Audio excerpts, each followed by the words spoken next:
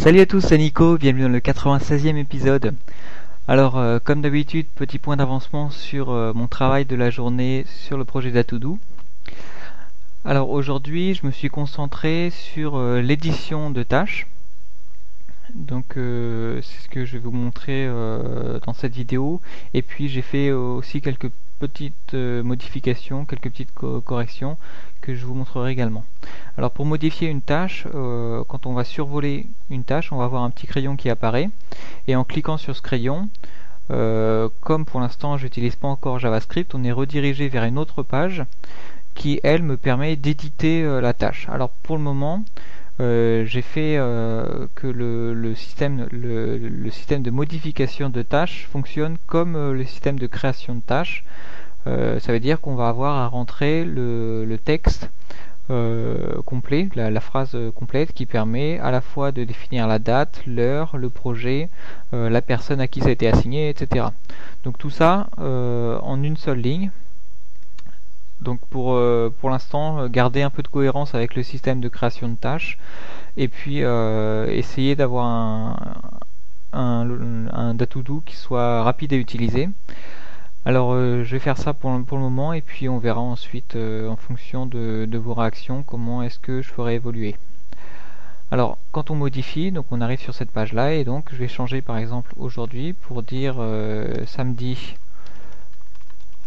voilà, samedi et non pas à 13h mais à 18h. Donc voilà, j'appuie sur entrée, donc la tâche a été mise à jour et maintenant elle apparaît donc après-demain à 18h. Voilà. Et euh, donc bien sûr, la page de modification et la page que je vous avais déjà présentée de, détails euh, sont différentes. Euh, et bah, j'ai fait quelques petites modifications sur cette page là, je, vous montrerai. Donc là pour, pour mettre en place la modification de tâches, il y avait plusieurs choses à prendre en compte. déjà, si le projet change, si le projet est différent, alors je dois créer un autre projet par exemple, si ici je vais me créer un euh, nouveau projet, j'envoie, et il faut que le système crée automatiquement le nouveau projet. C'est ce qui est fait ici. La tâche apparaît. Donc j'ai fait en sorte également que le précédent projet euh, donc euh, s'il a plus de tâches, il ne va pas être affiché dans cette liste-là, il va être considéré comme inactif par le système, mais il est toujours présent. Quand on va aller dans la gestion des projets, il sera toujours présent, ça va nous permettre par exemple euh, d'accéder à un historique détaillé de tout ce qui s'est passé sur ce projet, pour savoir qu'il y avait une tâche qui avait été créée pour ce projet-là, et qu'ensuite cette tâche a été déplacée vers un autre projet. C'est le, petit, le genre de petite utilisation qu'on peut qu'on pourrait avoir. Donc il y a ce système là et puis bien sûr si je veux assigner la tâche à quelqu'un d'autre il faut que d'abord je fasse la vérification que la personne travaille bien sur ce projet là euh, donc il me semble que Jean travaille pour le projet P1 voilà. Donc il faut euh, vérifier que la personne existe bien qu'elle qu'elle travaille bien avec nous sur le projet euh, auquel pour, la, pour laquelle la tâche va être assignée et euh, donc toutes les petites vérifications habituelles. Donc là il y avait quand même pas mal de boulot pour euh, essayer d'abord de déterminer comme euh, ce que j'avais fait pour la création de tâches, de déterminer tous les éléments et ensuite donc de modifier le projet, modifier la personne à qui ça a été assigné, etc. Et donc maintenant, bah, si je filtre sur Jean et tous les projets, donc je vais voir, donc Jean il a déjà pas mal de trucs, c'est celui-ci, c'est cette tâche là. Et donc bien sûr, comme maintenant moi je suis, je suis toujours Nicolas, cette tâche-là, je l'ai assignée à Jean. Je vais pas pouvoir cliquer sur euh, le, fait que j'ai terminé de, que j'ai effectué la tâche, vu que c'est à Jean de travailler sur cette tâche-là. Donc voilà, en revanche, bah, je vais pouvoir ajouter des commentaires. Par exemple, euh, merci de faire ça au plus vite. Voilà, donc ça, j'ai modifié euh, le petit bouton par rapport à hier. Et j'ai rajouté également la possibilité de supprimer un commentaire. Voilà. Et pour euh, supprimer une tâche, euh, ben, on va aller sur la modification et ensuite sur la petite croix qui est ici. Et voilà, la tâche est supprimée.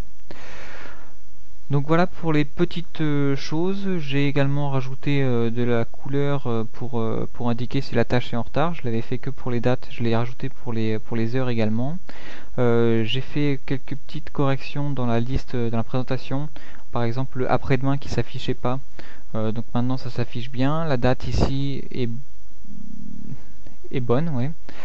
Pendant un moment c'était c'était pas bon mais là c'est bon alors même si c'est écrit ici le 6 avril en fait c'était une tâche pour hier euh, donc euh, voilà pour les petits avancements. J'ai également fini de, traduire les différents, euh, les, différentes, les, différents messages qui pouvaient s'afficher.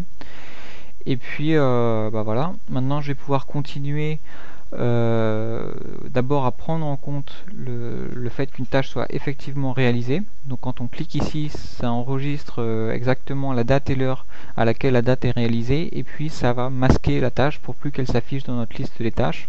En revanche, on pourra consulter euh, le détail de toutes les tâches euh, réalisées quand on va aller dans le détail des projets. Et puis bien sûr, on aura la, petite actualité qui s'affichera quand euh, je développerai cette page d'actualité. Donc c'est bien parce que ça avance plutôt bien, cette page des tâches est allée assez vite dans le développement. en revanche, ça va me prendre plus de temps pour refaire tout le, euh, tous les traitements avec euh, JavaScript. Parce que par exemple, quand on clique ici sur le crayon, là on est redirigé vers une autre page. Et idéalement, il ne faudrait pas qu'on soit redirigé, redirigé pardon, sur une autre page, mais il faudrait que euh, la tâche qu'on affiche ici soit remplacée par ce qu'on a ici. Pour pouvoir faire tout ça directement à partir de la même page. Et pareil, quand je clique ici, ne pas être redirigé vers une autre page avec les fichiers et les commentaires, mais euh, faire dérouler en dessous de notre tâche les commentaires et euh, les fichiers en fonction du bouton sur lequel on a cliqué. Et puis également, il faudra que je mette en place l'affichage euh, régulier, par exemple toutes les minutes, le rafraîchissement de notre liste de tâches pour afficher par exemple les nouvelles tâches et puis mettre à jour les compteurs, mettre à jour les détails de nos tâches, etc.